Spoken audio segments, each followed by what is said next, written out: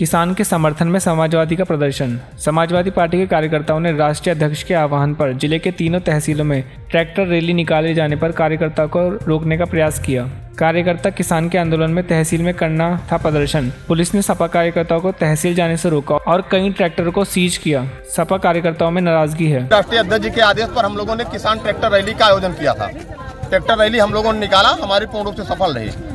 और उसके बाद प्रशासन ने हमारे ट्रैक्टरों को पकड़ कर सीज करने का काम किया और प्रशासन यही नहीं, पूरे ज़िले में ट्रैक्टर को सीज करने का काम कर रहा है और किसान हम लोगों को परेशान कर रहे हैं। और समाजवादी लोग आंदोलन करने वाले हैं, किसानों के आंदोलन के साथ समाजवादी लोग हैं, उसमें हम लोग डरने वाले नहीं हैं।